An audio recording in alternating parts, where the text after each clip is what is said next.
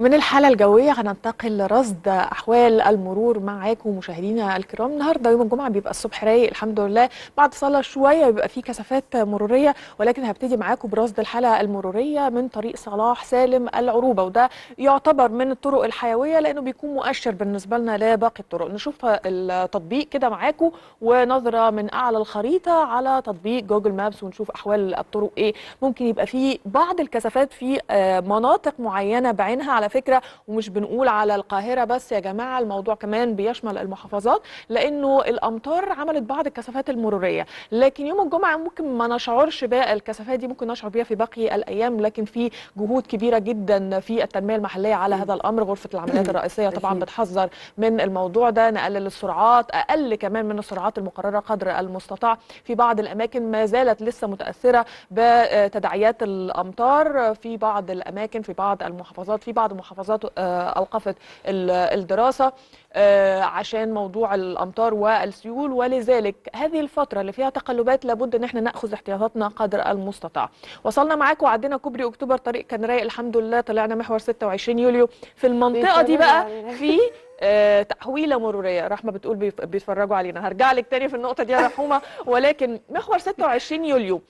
قبل ما تطلع ميدان لبنان وانت في طريق 6 أكتوبر هتلاقي فيه تحويلة مرورية. هتطلع هتمشي على طول أسفل الكوبري وتلف تاخد اليوتيرن وترجع وتدخل أول يمين. هنا مطلع آه، ال- المحور عشان آه، في هناك بعض آه، أعمال رفع الكفاءة في بداية المحور ولذلك في هناك تحويلة مرورية في هذا التوقيت. لسه ما عندناش فكرة قوي ال- الإصلاحات دي هتستمر لمدة قد إيه ولكن أول ما يجي لنا الخبر على طول هنقول لحضراتكم على التفصيلة الخاصة بهذا الموضوع وعشان كده إحنا شايفين كمان أهو يعني الحتة بس اللي هي بالأحمر والبرتقالي اللي فاتت دي دي اللي فيها التحويلة ال- المرورية وبعدين باقي ال- المحور هتلاقيه كله مضاء بالنسبة لنا باللون الأخضر وده مؤشر على السيولة المرورية وتوصلوا بألف سلامة. خلوا بالكم ال- الشبورة عالية جدا على الطريق. نحاول قدر المستطاع نخفض السرعات. قول يا رحمة. وطبعا زي ما انت بتقولي كده يا هبه الدنيا تمام وج- وجميلة جدا ولازم ناخد بالنا بس أنا عايزه أقول لك يا هبه اللي فعلا اللي الناس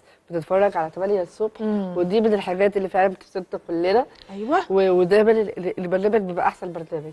أكيد إن شاء الله يا رب دايما. قولي لي بقى يا رحومه هتعملي إيه في New Year أجازة ال New Year مقضياها إزاي؟ أنا already عاملة New Year في البيت. أنت على طول عاملة New Year رحمة من الناس اللي عندها good vibes على طول يعني positive vibes على طول. آه، إخواتي رجعوا من السفر. الله. آه الحلوة دي بتبقى آه، مهمة جايين يقعدوا معايا.